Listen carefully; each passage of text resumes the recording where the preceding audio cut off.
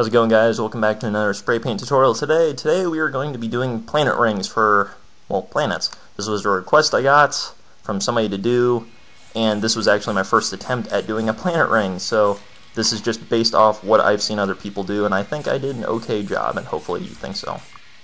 So to start off our planet, uh, we're going to do yellow, followed by orange, then red, then we're going to add white. And this isn't going to be like every other planet tutorial that I've shown you. We're not going to simply lay the magazine sheet over, and I'll show you why in a second. Because when you think of a planet with a ring, we think of Saturn. Saturn's got like that like streaked line look to it. I, I guess it's not rocky, it's a gas planet, so it's like streaked and curved looking.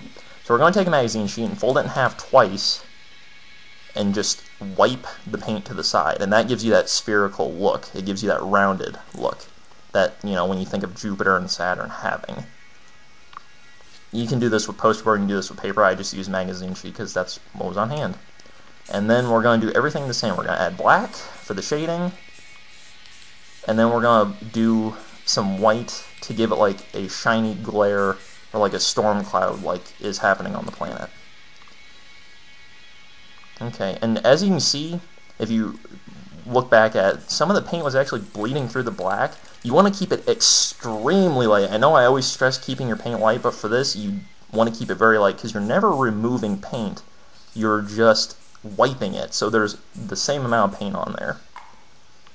And everything else is old stuff. Adds a little bit of pink, add a little bit of blue. They're just two random colors I picked. The planet and the colors that we're using are not the main point. It's the ring of the planet, so you can use whatever colors you want for it. And of course stars. I don't know what my deal is. I was editing this and I watched and it's like, man, I had a lot of stars. See, that would have been good there, but no, I have to add more. uh. Okay. Remove the plant, and now we're going to start on the ring. And I'm going to slow this next part down because I want to stress this. Take a scrap of, I use poster board because it's a sturdy edge on it. I never turn the poster board. I keep it going the same angle the whole time. Start at the edge of the planet, go out, curve in, go across the planet, do the same thing, curve it, and go back to the edge. See, you keep it the same angle and you never turn it because it automatically does that when you move to the outside edge like that and curve it. It creates that ring look.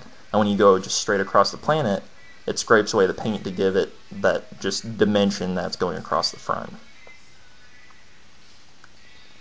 In my opinion, it kind of looks like a red Death Star with a ring around it.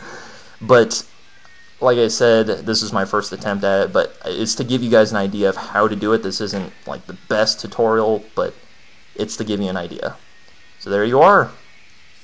Planet ring, and you can use whatever colors you want for it. Just have fun with it. Just practice it.